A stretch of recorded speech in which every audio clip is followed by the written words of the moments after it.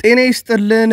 በመላው ዓለም ሆናችሁ ቃለ ስፖርት የዜናው ቻናል ለምትከታተሉ ውድ አድማጮቻችን ሰላም፣ ፍቅር፣ ጤና አስቀድመን ተመኘን። ከቃለ ስፖርት የዜናው ቻናላችን ለሰዓቱ የተመራረጡ ስፖርታዊ መረጃዎችን ደግሞ ከዚህ በማስቀጠል ከአገር ቤት ከባህር ማዶ የምናደርሳችሁ ነው የሚሆነው።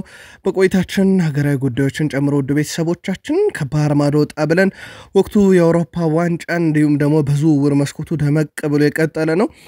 ከአውሮፓ ዋንጫ ጋር የተያዙ አዳዲስ መረጃዎችንና እንደዚሁም ከዝውውር ጋር በተያዘ የተጠናቀቁ ሊጠናቀቁ ከጫፍ የደረሱና በሩመር ደረጃ የሰማናቸውን መረጃዎች ይዘናል። ከአሰልጣኞችም ጋር የተያዙ ያገኘናቸው አዳዲስ መረጃዎች አሉ። ከዚህ መረጃዎቻችን በተጨማሪ እናንተ በምደግፏቸው ታላላቅ የአውሮፓ ክለቦች በተወዳጁ እንግሊዝ ፕሪሚየር ሊግ ካሉት ጨምሮ ማለት ነው ታላላቅ ክለቦችን የአውሮፓ ዕለታዊ መረጃዎችን እንደዚሁ አካተን ይዘንላችሁ መተናል። ውድ ቤተሰቦቻችን like አርጉ፣ አበረታቱን። ሀሳብ አስተያየት፣ የሀሳብ መስጫ ሳጥናችን ላይ ልታጋሩን ትችላላችሁ። እንደዚሁም ለቻናላችን አዲስ ከሆናችሁ subscribe ማድረግ እንዳይረሳ። ውድ ቤተሰቦቻችን በተለይም በሀሳብ መስጫ ሳጥናችን ላይ በዚህኛው የአውሮፓ ዋንጫ ግን የማን ብሔራዊ ቡድን ደጋፊ ናችሁ? እንደሚታወቀው ክለቦቻችሁ ተጫዋቾች እንግዲህ በአውሮፓ ዋንጫ እየተሳተፉ እንደሆነ ይታወቃል። ግን ለየትኛው ብሔራዊ ቡድን ነው ድጋፍ እየሰጣችሁ ያላችሁት? የትኛውንስ ጨዋታ ከተመለከታችሁት እስካሁን ከተደረጉት ጨዋታዎች የትኛው ጨዋታ ለእናንተ በጣም አዝናኝ ነበረ? በሀሳብ መስጫ ሳጥናችን ላይ ልታጋሩን ትችላላችሁ። አጠር አጠር ያሉ ስፖርታዊ መረጃዎቻችንን ግን እንደ ሁልጊዜው በ27ተኛ ሳምንት መርሃ ግብር የተደረጉ የኢትዮጵያ ፕሪሚየር ሊግ የጨዋታ ውጤቶችና የወቅቱን ደረጃ ሰንጠረዥ በማስታወስ ነው የምንጀምረው።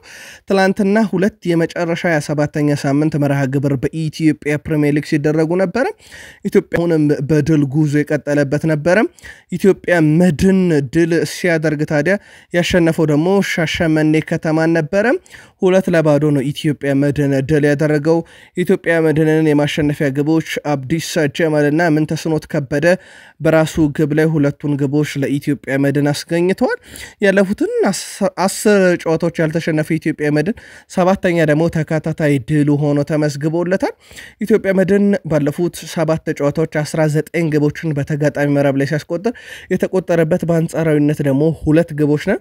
በደንብ ሚዛኑን የጠበቀ ቡድን ሆኗል። ባለፉት አስር ጨዋታዎች በደንብ ግብ ያስቆጥራል፣ በደንብ ይከላከላልና አስደናቂ ጉዞ ነበር። ታዲያ ኢትዮጵያ መድን ነጥቡንም ወደ 37 ከፍ አድርጓል። በሲዝኑ የመጀመሪያ አጋማሽ ላይ የሰበሰባቸው ዝቅተኛ ነጥቦች እንጂ ሁለተኛው አጋማሽ ላይ ኢትዮጵያ መድን በጣም የተሻለው ቡድን ነው። ሻሸመኔ ከተማ 14 ነጥቦችን ይዞ 15ኛ ነው የሚገኘው። ቀጣይ በ28ኛ ሳምንት ኢትዮጵያ መድን ከኢትዮጵያ ቡና፣ ሻሸመኔ ከተማ ከፋሲል ከነማ ጨዋታቸውን ያደርጋሉ። ከዚህ ጨዋታ ቀደም ብሎ የነበረውና በምሽት ስፖርታዊ ፕሮግራማችን ያደረስናችሁ የወላይታ ዲቻ እንደን ለማስታወስ ያክል ወላይታ ዲቻ ሀዲያ ኦሳአናን ሁለት ለአንድ በሆነ ውጤት አሸንፏል። የወላይታ ዲቻን የማሸነፊያ ግቦች አብነት ደምሴና ብሩክ ማርቆስ ነበረ በራሱ መረብ ላይ እንደዚሁ ያሳረፈው። ወላይታ ዲቻ ካለፉት አስራ አራት የሊግ ጨዋታዎች ሁለተኛ ድላቸውን ያሳኩት ሀዲያ ሆሳዕና 35 ነጥብ ላይ ሲቆይ ወላይታ ዲቻ ወደ 32 ነጥብ ከፍ ብሏል። በ28ኛ ሳምንት ድሬዳዋ ከተማ ከሀዲያ ሆሳዕና፣ ሀምበሪቾ ዱራሜ ደግሞ ከወላይታ ዲቻ በኢትዮጵያ ፕሪሚየር ሊግ መርሃ ግብራቸውን የሚያከናውኑ ነው የሚሆነው። ውድ ቤተሰቦቻችን ቃል በገባንላችሁ መሰረት የኢትዮጵያ ፕሪሚየር ሊግ 27ኛ ሳምንት ሁሉም መርሃ ግብሮች ተደርገው ከተጠናቀቁ በኋላ የደረጃ ሰንጠረሹ ላይ ከፍተኛ የሚባሉ ለውጦችን ተመልክተናል። እናድርሳችሁ። በ27ኛ ሳምንት የሶስት ነጥብ ልዩነት ብቻ እንዲሆን ሆኗል በኢትዮጵያ ንግድ ባንክና በመቻል መካከል። ኢትዮጵያ ንግድ ባንክ ከ27 ጨዋታ 57 ነጥቦችና 26 የግብ ልዩነቶችን ይዞ ቀዳሚ ሲሆን መቻል በ27 ጨዋታ 13 ግብና 54 ነጥቦችን ይዞ ሁለተኛ ነው። ምናልባት እነኚህ ሁለት ክለቦች በቀራቸው ሶስት መርሃ ግብር በነጥብ የሚስተካከሉና የሚያልቅ ከሆነ ንግድ ባንክ በግብ ልዩነት ሻምፒዮን መሆን የሚችልበት ደረጃ ላይ ይገኛል። በእጥፍ ነው የግብ ልዩነቱ። ኢትዮጵያ ቡና ደረጃውን በደንብ ነው ያሻሻለው፣ ወደ ሶስተኝነት ከፍ ብሏል 47 ነጥቦችን በመሰብሰብ እንደዚሁ በኢትዮጵያ ቡና ደረጃውን የተነጠቀው ባህር ዳር ከተማ በ46 ነጥብ በአራተኝነት ተቀምጧል። አዳማ ከተማ በ44 ነጥብ ወደ አምስተኛ ከፍ ብሏል። ቅዱስ ጊዮርጊስ በጣም የተንሸራተተበት ሳምንት ነበረ። ቅዱስ ጊዮርጊስ በ43 ነጥብ ወደ ስድስተኛ ወርዷል። ፋሲል ከነማ በ40 ነጥብ በክፍያ ድሬዳዋ ከተማን በልጦ ሰባተኛ፣ ድሬዳዋ ከተማ ስምንተኛ ማለት ነው። ኢትዮጵያ መድን በ37 ነጥብ ዘጠነኛ፣ ሐዋሳ ከተማ በ36 ነጥብ አስረኛ፣ ሀዲያ ኦሳና በ35 ነጥብ 11ኛ፣ ሲዳማ ቡና በ34 ነጥብ 12ኛ፣ ወላይታ ዲቻ በ32 ነጥብ 13ኛ፣ ወልቂጤ ከተማ በ16 ነጥብ 14ኛ፣ ሻሸመኔ ከተማ በ በ14.15ኛና ሀምበሪቾ ዱራሜ በ18.16ኛ ደረጃ ላይ ተቀምጠዋል። በቀጣይ ከወልቂጤ ከተማና ሻሸመኔ ከተማ አንዳቸው ሀምበሪቾ ዱራሜን ተከትለው ከፕሪሚየር ሊጉ እንደዚሁ የሚወርዱ ነው የሚሆነው። ታዲያ 27ኛ ሳምንት ላይ በደረሰው በኢትዮጵያ ፕሪሚየር ሊግ የከፍተኛ ግብ አስቆጣሪነቱን አሁንም አሊ ሱሌማን ይመራዋል። 16ኛ ግቡ ላይ ደርሷል። በዚህም ሳምንት ከሐዋሳ ከተማ አሊ ሱሌማን 16 ግቦች አሉት። ምንይሉ ወንድ ወንድሙ ከመቻል 13 ግቦችን ይዞ ሁለተኛ ሲቀመጥ፣ ቸርነት ጉግሳ ከባህር ዳር ከተማ፣ አማኑኤል ኤርቦ ከቅዱስ ጊዮርጊስ፣ ዮሴፍ ታረቀኝ ከአዳማ ከተማ 11 ግቦችን በማስቆጠር ደግሞ በፕሪሚየር ሊጉ ሶስተኛ ከፍተኛ ግብ አስቆጣሪ ሆኗል። የ28ኛ ሳምንት የኢትዮጵያ ፕሪሚየር ሊግ መርሃ ግብሮች ከሶስት ቀን ረፍት በኋላ ሐሙስ 9 ሰዓት ሲል የሚደረጉ ነው የሚሆነው። ሮብ በሚኖረን ስፖርታዊ መረጃችን ደግሞ የ28ኛ ሳምንት ጨዋታዎችን እንደዚሁ ጥቆማ የምናደርሳችሁ ነው የሚሆነው። ቃለ ስፖርት የዜናው ቻናል ወደ ባህር ማዶ ስፖርታዊ መረጃዎቻችን እንሻገር። ዛሬ በአውሮፓ ዋንጫም እንደዚሁ መርሃ ግብሮች ቀጥለው ይካሄዳሉ። ሮማኒያ ከዩክሬን፣ ቤልጅየም ከስሎቫኪያ፣ ኦስትሪያ ከፈረንሳይ ዛሬ የሚደረጉ መርሃ ግብሮች ናቸው።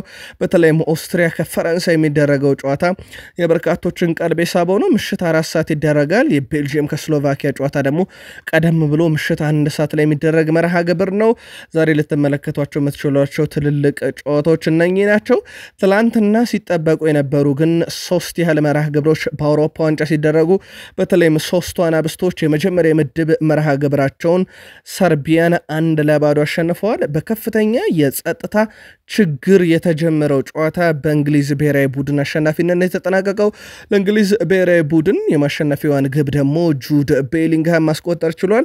እንግሊዛዊ ተጫዋች ጁድ ቤሊንግሃም በሶስት ታላላቅ ውድድሮች መሳተፍ የቻለም በእድሜ ትንሹ የአውሮፓ ዋንጫ ተጫዋችም መሆን ችሏል። የዓመት ተጫዋች ጁድ ቤሊንግሃም እስካሁን በሁለት የአውሮፓ ዋንጫና አንድ የዓለም ዋንጫ መሳተፍ ሲችል ይህ ሲሆን ታዲያ ከ21 ዓመት በታች ነው ያደረገው። እንግሊዝ ተጫዋች ጁድ ቤሊንግሃም እንግዲህ በመሳተፍ የቻለን በእድሜ ትንሹ ተጫዋች መሆን ችሏል። ሃሪኬን በአራት ታላላቅ ውድድሮች እንግሊዝ ብሔራዊ ቡድንን በአምበልነት እየመራም የመጀመሪያው እንግሊዛዊ ተጫዋች በመሆን እንደዚሁ አዲስ ታሪክ የጻፈበት ነው። በምድቡ ሁለተኛ ጨዋታ ቀጣይ ሳምንት ሐሙስ እንግሊዝ ከዴንማርክ እንደዚሁም ሰርቢያ ከስሎቬኒያ ጋር የሚያደርጉ ነው የሚሆነው።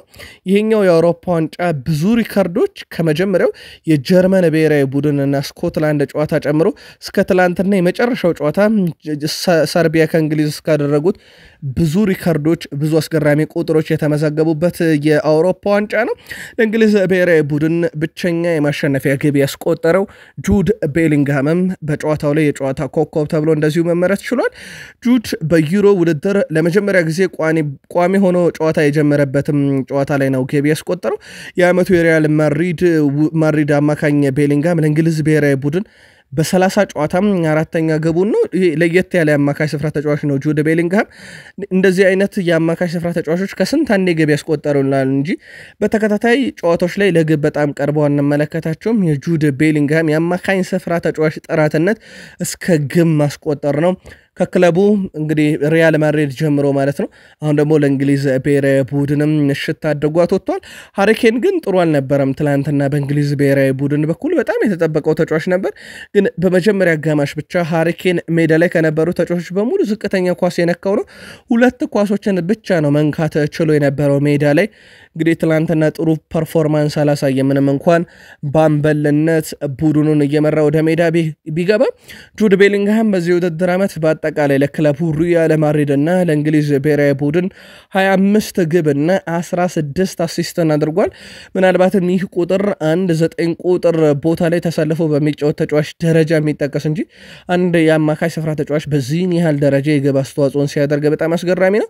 በአጠቃላይ ጁድ ቤሊንጋም 25 ግቦችን ሲያስቆጥር 16 assist አለው። በአጠቃላይ ይህ ተጫዋች ወደ 41ኛ የግብ አስተዋጽኦን በዚህ የውድድር ዓመት ብቻ አከናውኗል። እስካሁን በምድብ እስካሁን በተደረጉት መርሃ ግብሮች ግብ ያላስተናገዱትም ሁለት ቡድኖች ሆነዋል።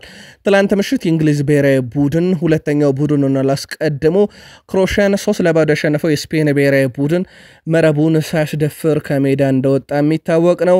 ሌላኛው ትላንትና ምሽት የነበረው መርሃ ግብር በዴንማርክና በስሎቬኒያ መካከል የነበረው ጨዋታ ነው። ጨዋታው አንድ ለአንድ በሆነ ውጤት ተጠናቋል። የዴንማርክ ብሔራዊ ቡድን ቀዳሚ ያደረገች ግብ በ13ኛው ደቂቃ ላይ ክርስቲያን ኤሪክሰን ከመረብ ሲያሳርፍ ኤሪክ ጃንዛ ደግሞ ለስሎቬኒያ አቻ ያደረገች ግብ አስቆጥሯል። የ32 ዓመት ተጫዋች ክርስቲያን ኤሪክሰን በአውሮፓ ዋንጫው ግብ ያስቆጠረ በእድሜ ትልቁ ዴንማርካዊ ተጫዋች መሆን ችሏል። የምድቡ ሁለተኛ ጨዋታ ቀጣይ ሳምንት ሐሙስ ዴንማርክ ከእንግሊዝ እንዲሁም ስሎቬኒያ ከሰርቢያ ጋር እንደዚሁ የሚያከናውኑ ነው የሚሆነው። ካስታወሳችሁ ህይወት ሁለት እድል ትሰጣለች ብለው በርካቶች ዴንማርካዊን ተጫዋች ክርስቲያን ኤሪክሰንን ታሪክ እያስታወሱ ነው። ካስታወሳችሁ ውድ አድማጮቻችን በ2020 ዩሮ ዋንጫ የመክፈቻ ጨዋታ ላይ ራሱን ስቶ ወድቆ ነበረ ወይም ደግሞ ከ1100 ቀን በፊት የዚህ ተጫዋች ህይወት ልታልፍ እንግዲህ ደቂቃዎች ሲቀሩ በከፍተኛ የሕክምና ርብርብ ነበር ወደ ሆስፒታል ሄዶ የተረፈው። ትላንት ምሽት ከአራት ዓመት በኋላ ግን የመክፈቻዋን ግብ ለዴንማርክ ብሔራዊ ቡድን አስቆጥሯልና ህይወት ሁለተኛ እድል ስትሰጥ ልክ እንደ ክርስቲያን ኤሪክሰን ነው ብለዋል በርካቶች። ክርስቲያን ኤሪክሰን 32 ዓመት ከ123 ቀን ነው ለዴንማርክ እንዲሁም በዩሮ ውድድር ታሪክ ራሱ ግብ ያስቆጠረ ሶስተኛው በእድሜ ትልቁ ነው። በዴንማርክ እግር ኳስ ታሪክ ደግሞ በእድሜ ትልቁ ተጫዋች መሆን ችሏል። ሌላ ትላንትና እንደ በጣም አስገራሚው ቁጥር ጃንዛ በዩሮ ለስሎቬኒያ ትላንት ዴንማርክ ላይ ያስቆጠራት ግብ በፈረንጆች አቆጣጠር ከ2000 በኋላ የተቆጠረች ወይም ደግሞ ከ24 ዓመት በኋላ ስሎቬኒያ በዩሮ ዋንጫ ግብ ያስቆጠረችበትም ጨዋታ ሆኖ ተመዝግቧል። ጃንዛም ለስሎቬኒያ ብሔራዊ ቡድን ከ24 ዓመት በኋላ ግብ አስቆጥሮላታል በአውሮፓ ዋንጫ። በጣም አስገራሚ ሌላኛው record ነው። ትላንት ግን ከነኚህ ሁለት ጨዋታዎች ቀድሞ የነበረው ጨዋታ 10 ሰዓት ላይ የነበረውና በምሽት ስፖርታዊ ፕሮግራማችን ያደረስናችሁ ኔዘርላንድ ፖላንድን በጣም ተመጣጣኝና ጥሩ ፉክክር በተመለከትንበት ጨዋታ ያሸነፈችበት ነበር። ጨዋታው በኔዘርላንድ ሁለት ለአንድ አሸናፊነት ሲጠናቀቅ የፖላንድ ብሔራዊ ቡድን ግቦችን ኮዲ ጋክፖና ዌግሆርስት ከመረብ ሲያሳርፉ ለፖላንድ ብቸኛዋን ግብ ደግሞ አዳም ቡክስ ነበረ ከመረብ ያሳረፈው። የሊቨርፑል የፊት መስመር ተጫዋች ኮዲ ጋክፖ ለኔዘርላንድ ብሔራዊ ቡድንም አስረኛ ግቡ ነው የተመዘገበችበት ነበር። ዌግሆርስት ለኔዘርላንድ ብሔራዊ ቡድንም ተቀይሮ በገባባቸው ጨዋታዎች አስራ አንደኛ ግቡ ላይ ደረሰ። በጣም አስደናቂ ነበር። በምድቡ ሁለተኛ ጨዋታ ላይ ቀጣይ ሳምንት አርብ ኔዘርላንድ ከፈረንሳይ እንደዚሁም ፖላንድ ከኦስትሪያ የሚያደርጉ ነው የሚሆነው። የኔዘርላንድ ብሔራዊ ቡድን አሰልጣኝ ሮናልድ ኩመን ድሉ የሚገባን ነው፣ በቀጣይ ቡድናችን እስከ ዋንጫው ደርሶ ዋንጫውን እስከ ማሸነፍ ነው ህልማችን እንጂ የምድብ ጨዋታ ላይ ብቻ ጥሩ ስለመሆን አናስብም ብለዋል። የኔዘርላንድ ብሔራዊ ቡድንም ትላንት ልዩ መሆኑን የጠቆሙት አሰልጣኝ ኮማን በድሉ ተደስተናል፣ ግን በርካታ ግቦችን ማስቆጠር ነበረብን፣ እድሎችን ስናማክን ነበር፣ በቀጣይ ጨዋታ ላይ እናሻሽለዋለን ብለዋል። ቡድናቸው እንግዲህ አርብ ከፈረንሳይ ጋር ነው ጨዋታን የሚያደርገው። እጅግ በጣም ፈታኝ ጨዋታ ይሆናል ተብሎ ነው የሚጠበቀው። ኮዲ ጋክፖ ደግሞ ጨዋታው ኮከብ ተብሎ እንደዚሁ ከጨዋታው በኋላ ሽልማቱን ተረክቧል። ናታን አኬ ከፖላንድ ጋር በነበረው ጨዋታ ላይ ከየትኛውም ተጫዋች የበለጠ አራት የግብ ዕድሎችን ፈጥሯል። በተጨማሪም መቶ percent የአንድ ለአንድ ግንኙነቶችን አሸንፏል። የተከላካይ ስፍራ ተጫዋች ቢሆንም የግብ ዕድሎችን በመፍጠር ግን ሜዳ ላይ ከነበሩት የትኛውም የኔዘርላንድ ተጫዋቾችም እጅግ በጣም ተሽሎ የነበረው ተጫዋች ናታን አኬ ነው። ውድ ቤተሰቦቻችን ከአውሮፓ ዋንጫ መረጃችን ወጣ ብለን ደግሞ ተጨማሪ ስፖርታዊ መረጃዎችን እናደርሳችሁ። በድጋሜ ከቃል ስፖርት YouTube channel ጋር መልካም ቆይታ። ትላንትና ከፍተኛ ውዝግብ ነበረ በጣሊያን ናፖሊ ውስጥ ነው የተፈጠረው። ውጥረቱ የተፈጠረው ደግሞ በናፖሊ ተጫዋች ክቫራትስኬሊያ እንደዚሁም በአባቱና በናፖሊ መካከል ነው።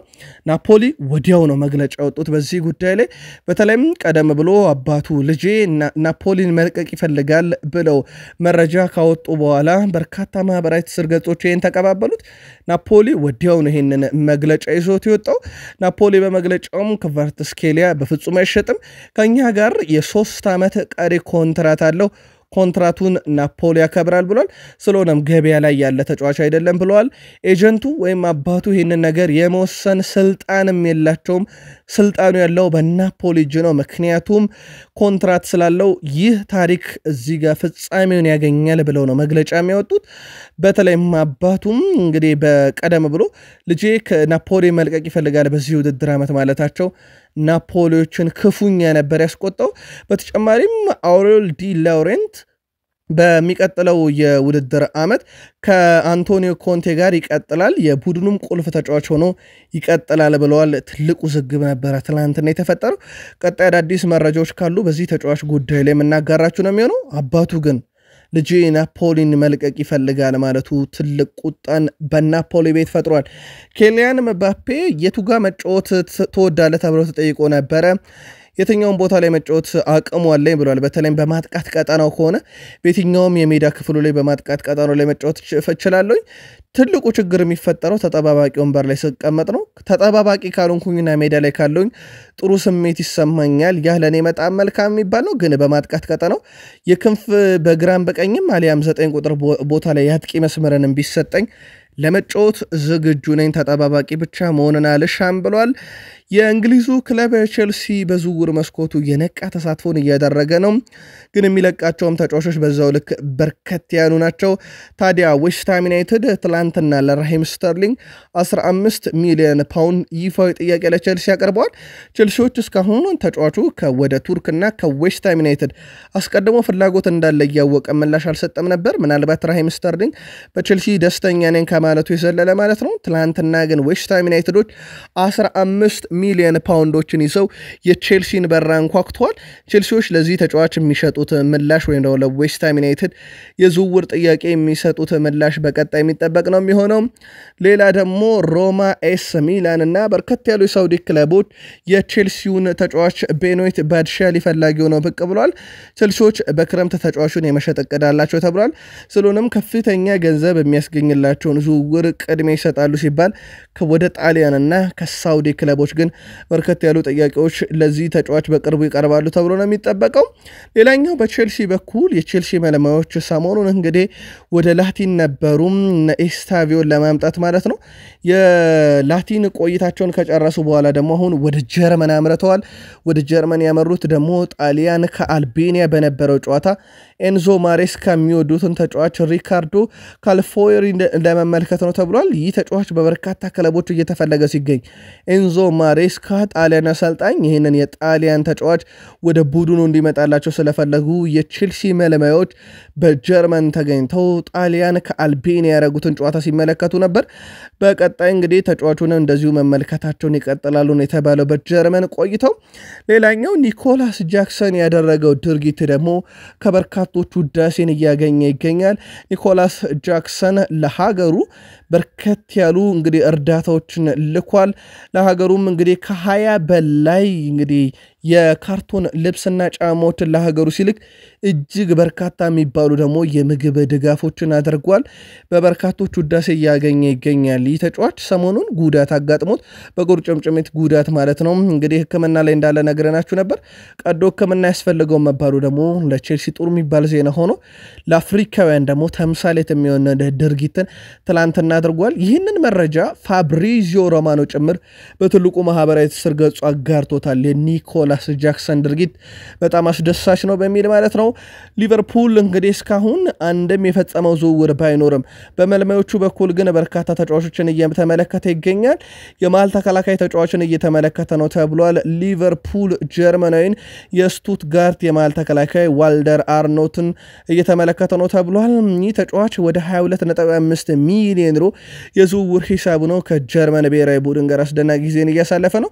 ሊቨርፑሎች ሌላ መልማያቸውን ልከው እየተመለከቱት ያለው ተጫዋች መሆኑን ደግሞ የጀርመኑ ተነባቢ ጋዜጣ ቢልድ ነው በዘገባው ይዞት የወጣውም። ትሬንት አሌክሳንደር አርኖልድ ለሊቨርፑል ካደረጋቸው 25078 ደቂቃዎች ውስጥ በሊቨርፑል ማለት ነው አንድ percent ኡን ብቻ ነው ከዚህ ደቂቃ ውስጥ በአማካይ ስፍራ ላይ ተጫወተው ወይም ደግሞ በስድስት ቁጥር ቦታ ላይ ተጫወተው ግን በአስገራሚ ሁኔታ ትላንትና ለእንግሊዝ ብሔራዊ ቡድን ላይ በቦታው ካሉ ተጫዋቾች በሙሉ ቅድሚያ ተሰጥቶታል። አንድ percent ኡን ብቻ በሊቨርፑል በዛ ሜዳ ክፍል ላይ ያሳለፈው። ታዲያም የቀድሞ ተጫዋች ጆ ሀርት እንግሊዝ ግብ ጠባቂ ማለት ነው ሳውዝጌት በዛ ቦታ ላይ የሚጫወቱ በርካታ ተጫዋቾች አሉት፣ ግን ትሬንት አሌክሳንደር አርኖልድን በቦታው ላይ መርጧል። በእርግጠኝነት ከዚህኛው ጨዋታ በዘለለ በቀጣይ ጨዋታው ይጠቀመዋል ብዬ አስባለሁ። ትሬንት አሌክሳንደር አርኖልድን ብዙ የግብ ዕድሎችን እንደሚፈጥር አምናለሁ ብሏል። ሌላኛው የሊቨርፑሉ ተጫዋች ቨርጅል ቫንዳይክ ትላንትና የመጀመሪያ የአውሮፓ ዋንጫ ውድድሩን ነው ማድረግ የቻለው። ቡድኑም እንግዲህ ብሔራዊ ቡድኑም በድል ነው እንግዲህ ያጠናቀቀው። ከዚህ በፊት በጉዳት ምክንያት ይህ ተጫዋች ዩሮ ውድድር አመልጦት ነበረም። ትላንትና ግን ለመጀመሪያ ጊዜ ለኔዘርላንድ ብሔራዊ ቡድን ያንን አሳክቷል። ብሔራዊ ቡድኑም በአምበልነት እየመራ ጨዋታ ማድረግ ችሎ ነበረ። ኤሪክ ቴናግ ደግሞ እንግሊዝ ብሔራዊ ቡድን ትላንትናን ጨዋታ ከአንድ ቴሌቪዥን ጋር በቀጥታ ሲያስተላልፉ ነበረ ለኔዘርላንድ ደጋፊዎች ወይም ለኔዘርላንድ ሆነው የአውሮፓ ዋንጫ ለሚከታተሉ ማለት ነው። ከማንቸስተር ዩናይትድ ጋር የተያዙ ነጥቦችን ጨምሮ በርካታ ሀሳቦችን ነበረ ሲያጋሩ የነበረው። በተለይም ኮንትራት በማራዘም ሂደት ላይ እንዳሉና ቀላል ግምት የሚሰጠው ድርድር እየተካሄደ አይደለም፣ ከፍተኛ የሆነ ድርድር እየተካሄደ ነው ብለዋል። እንመለሳለን እዚህ ጉዳይ ላይ ግን ሌሎች ያነሷቸው ነጥቦች እንመልከት። ኤሪክ ቴናግ በሉክሾ ጉዳይ ላይ ሀሳባቸውን አጋርተዋል። አንደኛው ትላንትና የእንግሊዝ ብሔራዊ ቡድን ስብስብ ውስጥ ከነበረው ሉክ ሾው ነው፣ ግን በጉዳት ምክንያት እንዳልተሰለፈ ይታወቃል። ኤሪክ ቴን ሃግ ሉክ ሾው ምናልባትም እንግሊዝ የምድብ ጨዋታዎቿን በድል ተወጥታ ካለፈች ጥሎ ማለፍ ውስጥ ያን ጊዜ ሉክ ሾው መጫወት እንደሚችል እርግጠኛ ነኝ ብለዋል።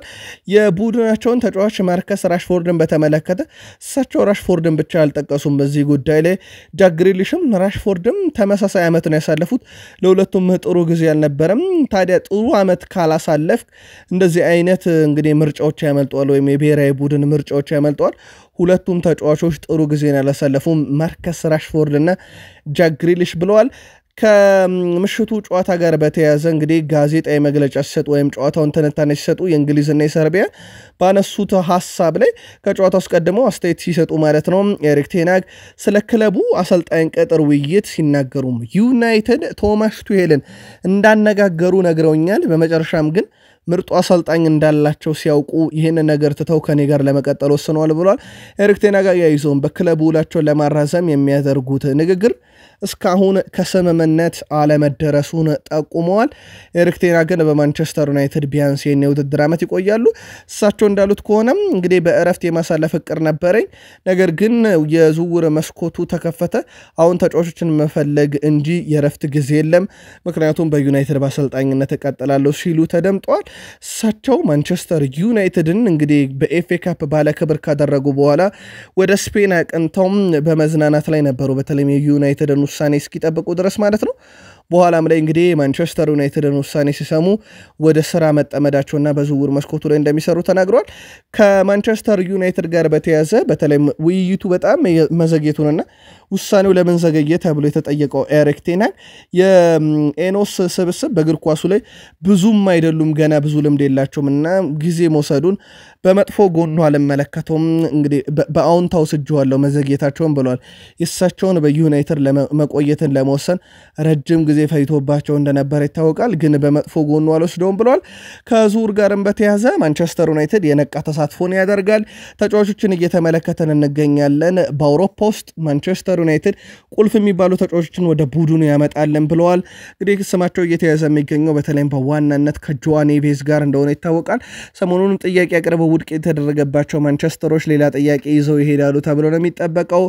ዣን ክሌር ቴድቦም እንደዚሁ በመከላከል ስፍራ ላይ ዴላይት ሌላኛው የመከላከል ስፍራ አማራጫቸው ነው። ውድቅ የተደረገባቸው የመጀመሪያ የዝውውር ሂሳብ ጄሬድ ብራንዝዌይትን በዚህ ዝርዝር ውስጥ ይገኛል። በእርግጥ ኤሪክ ቴን ሃግ ስም የጠሩት ተጫዋች ባይኖርም በዝውውር መስኮቱ ላይ ግን አውሮፓ ውስጥ ትልልቅ የሚባሉና ቁልፍ ተጫዋቾችን ወደ ቡድናችን እናመጣለን ብሏል። preseason ኑን በተመለከተ በአውሮፓ ዋንጫ ላይ የተሳተፉ ተጫዋቾችን እንችላለን እንችላለን ብለዋል። ወጣት ተጫዋቾችና ልምድ ያላቸውን ተጫዋቾች ይዘን ወደ አሜሪካን እናመራለን ብለዋል። በአሜሪካም እንግዲህ በርከት ያሉ የ training ጨዋታዎችን እንደሚያደርጉም ይጠበቃል ከፕሪሚየር ሊግና ከሌሎች ክለቦች ጋር ማለት ነው። በአጠቃላይ ኤሪክ ቴን ሃግ ትላንት በነበራቸው ጋዜጣዎች እነኝና ሌሎች ሰፋ ያሉ ጉዳዮችን አንስተዋል። የእሳቸውን ሙሉ ጋዜጣዊ መግለጫ በቀጣይ ስፖርታዊ ፕሮግራማችን እናካትተዋለን። ከዝውውር ጋር በተያያዘ ግን ቡድናቸውንም ቁልፍ ተጫዋቾችን በክረምት ያመጣል ሲሉ ጠቁመዋል። አርሰናሎች አማዱ ኦናናን ሰሞኑን ማነጋገራቸውን ጠቁመናችሁ ነበረ ከኤቨርተን ጋር ሌላ ተጨማሪ ተጫዋችን እንደ አማራጭ መመልከት ጀምረዋል። በተለይም ከአማዱ ኦናና ጋር ዝውውሩ በስኬት የማይጠናቀቅ ከሆነ ፍራንኪ ዲዮንግን ይመለከታሉ ተብሏል። ከባርሴሎና የመልቀቅ ምንም አይነት ፍላጎት ባይኖረውም ባርሴሎናዎች ግን ለዚህ ተጫዋች በአመት 20 ሚሊዮን ፓውንድ በላይ ክፍያ ይከፍላሉ። በአጠቃላይ ኮንትራቱ እስኪጠናቀቅ ወደ 44 ሚሊዮን ዩሮ ከነጥቅማ ጥቅሙ ይከፍሉታል። ታዲያ በገንዘብ ችግር ውስጥ ያለው ባርሴሎና በአውሮፓ ውስጥ ውድ የሳምንታዊ ደሞዝ በአጠቃላይ ወጪ ያለበት በክለቡ መዋቅር ውስጥ ባርሴሎና ተጫዋቾች ላይ ወይ ኮንትራታቸውን አድሰው ደሞዛቸው እንዲቀንሱ አሊያም ክለቡን እንዲለቁ እንደሚፈልግ ይታወቃል። አርሰናል ጉዳዩን መመልከት ጀምሯል ተብሏል። አስቀድሞ ማንቸስተር ዩናይትድ የዚህ ተጫዋች አድናቂና ፈላጊ ቢሆንም አርሰናሎች አሁን ላይ ለዚህ ተጫዋች ሌላ ፍላጎት ያላቸው ክለብ ሆነው ብቅ ብለዋል። የአማካይ ስፍራውን ለማጠናከር ማርቲን ዙቢሜንዲ እንደዚሁም አማዱ ኦናና፣ ብሩኖ ጉማሬሽን ጨምሮ ዳግላስ ሉዊስ በእጩ ውስጥ የነበሩ ቢሆንም አሁን ላይ አርሰናል ግን እንደ አማዱ ኦናናና ሌላኛው አሁን ደግሞ ፍራንኪ ዲዮንግን መመልከት ጀምሯል ተብሏል። አንደኛ እነሱ የሚሸፍኑት ቦታ የቶማስ ፓርቴ ጥሎት የሚወጣው ነው ተብሎ ነው የሚጠበቀው።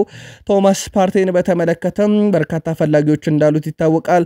አርሰናል ከ30 ሚሊዮን ዩሮ በታች መሸጥ አይፈልግም። በተለይም የሳውዲ ክለቦች የተጫዋቹ ፈላጊ መሆናቸው ለአርሰናል መልካም የሚባለውም አጋጣሚ ነው። አርሰናል ከ30 ሚሊዮን ፓውንድ በላይ ከዚህ ተጫዋች ይፈልጋል። የሳውዲ ክለቦች ባለፈው ዓመትም የዚህ ተጫዋች ፈላጊ እንደነበሩ ይታወቃል።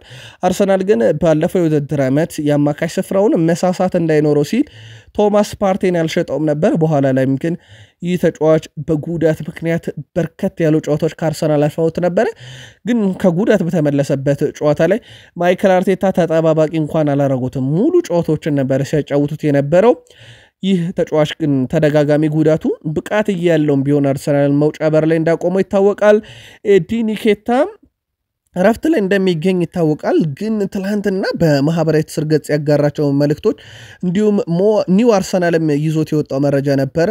በጣም አስገራሚ ነው። ተጫዋቹ physically ራሱን በደንብ እያዳበረና እንደዚሁም ደግሞ ከእግር ኳሳዊ ስፖርት በተጨማሪ የሰውነት ቅርጽ ላይ በደንብ እየሰራና ጡንቻዎቹን በደንብ እያሳደገ እንደሆነ የተመለከትንበት ነበር። በርከት ያሉ የእጅና የደረት ጡንቻዎቹ የ size ለውጥ አድርገው የተመለከትንበት ነበረና ከፍተኛ የሆነ ራስን የማጎልበት ስራን እየሰራ ይገኛል። በረፍት ጊዜው አሽሊ ኮል በዚህ ሰዓት ለኔ ከኮል ፓልመር በተለየ ቡካዮ ሳካን እመርጣለሁኝ። በተጨማሪም ደግሞ ከሞሐመድ ሳላ በራሱ በዚህ ሰዓት ቡካዮ ሳካ በጣም የተሻለው ተጫዋች ነው ብሏል። ትላንትና በነበረው የእንግሊዝ ብሔራዊ ቡድን ውስጥ ከኮል ፓልመር ይልቅ ቡካዮ ሳካ ቦታውን ወስዶ ነበር። ኮል ፓልመር ትላንትና ዜሮ ደቂቃ ነበረ ወይም ደግሞ ምንም ደቂቃ እንዳልተሰጠው ይታወቃል። አሽሊ ኮል አሁን ባለው ሁኔታ ከሳላህም በተሻለ በቦታው ላይ ምርጡ ሰው የአርሰናሉ ቡካዮ ሳካ ነው ሲል ተደምጧል። ትላንትና እንግዲህ ሀገራቸውን ከወከሉ የአርሰናል ተጫዋቾች አንደኛው ዴክላን ራይስ ነበረ። አንድ በጣም ያስገረመንን ቁጥር እናደርሳችሁ። ዴክላን ራይስ በመጀመሪያ አጋማሽ ከየትኛውም ተጫዋች በተሻለ ሜዳ ላይ 47 ቅብብሎችን ማድረግ ችሏል። እንዳልኳችሁ ሃሪኬን ትላንት ሁለት ኳሶችን ነበር ከረፍት በፊት የነካው። ዴክላን ራይስ በመጀመሪያ አጋማሽ ግን ከየትኛውም ተጫዋች የተሻለ ቁጥር ነበረው።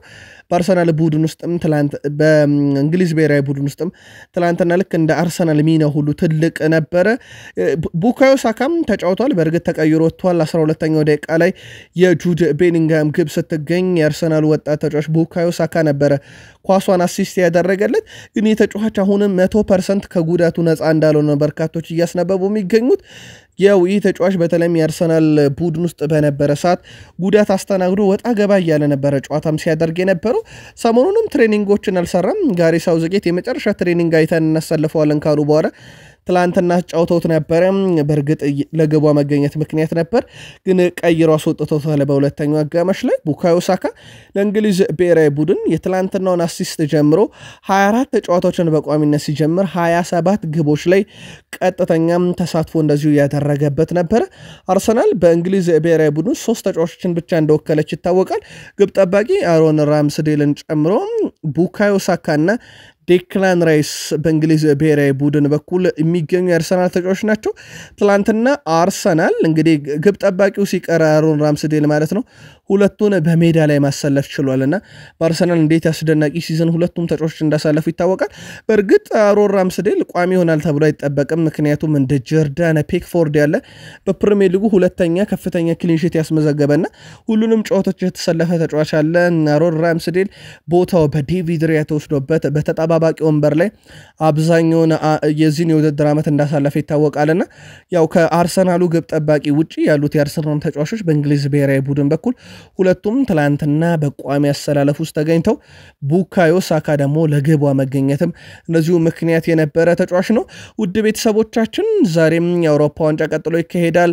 10 ሰዓት ሲል ሮማኒያ ከዩክሬን፣ ከዛ ምሽት አንድ ሰዓት ቤልጅየም ከስሎቫኪያ፣ ከዛ ምሽት አራት ሰዓት ኦስትሪያ ከፈረንሳይ ብሔራዊ ቡድን የአውሮፓ ዋንጫ ቀጣይ የሚደረጉ መርሃ ግብሮች ናቸው። በእነኚህ ጨዋታዎች ዘና ፈታ እንድትሉ በአክብሮት ጋበዝን። ወቅቱ የአውሮፓ ዋንጫና የዝውውር መስኮቱ ነው። እንደዚሁም ኮፓ አሜሪካ በፊታችን ሳምንት ይጀመራል፣ ወይም በሳምንቱ መጨረሻ ይጀመራል።